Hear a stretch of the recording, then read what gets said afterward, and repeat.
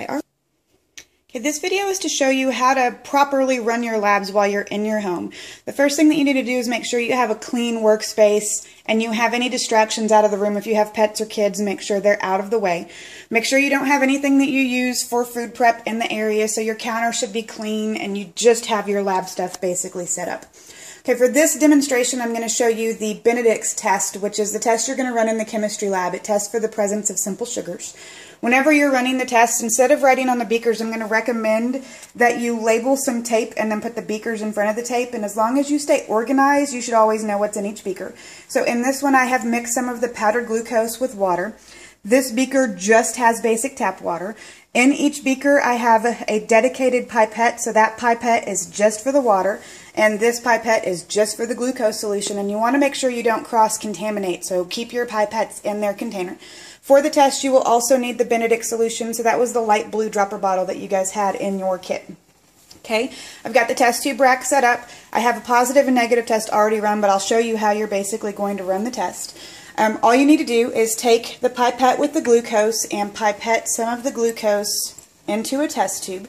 Your instructions tell you how much you're going to use, but you really don't need all that much. So that was just two pipettefuls. After that, you're going to add your Benedict solution until you have a nice light blue color in the test tube. I know it's probably hard to see the light blue since it's up against the test tube rack, but there's your light blue solution right there. Okay, after you have it in the test tube, you're going to use your test tube clamp to clamp it around, and this will be easier for you to do since you're not going to be holding your phone in one hand. But hold that and then put it into a boiling water bath, and this is just a pot with some boiling tap water in it. It's been set to boil already. You're going to hold the test tube in there.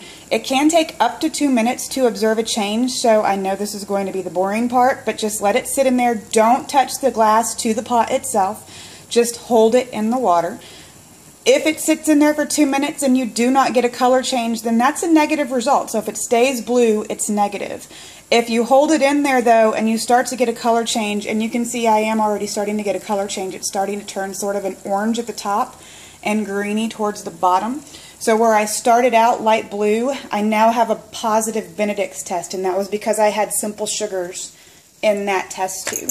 Okay, if you were to do the same thing with just water, this is the result after two minutes of boiling. So this is a negative Benedict's test, and the orange colors that you can see in the test tube rack are the two positive test results. Now at the conclusion of the lab, you have these test tubes that are filled with solutions, and what you want to do, put some paper towels in your trash can and then empty the contents of the test tubes over the paper towel so they will absorb it, and do that in the trash can. After that, make sure you clean all of your counters again to make sure if you did spill any of the chemicals, you don't then cook food on those chemicals. Since the chemicals never came into contact with the pot itself, all you have to do is just wash the pan when you're done with it.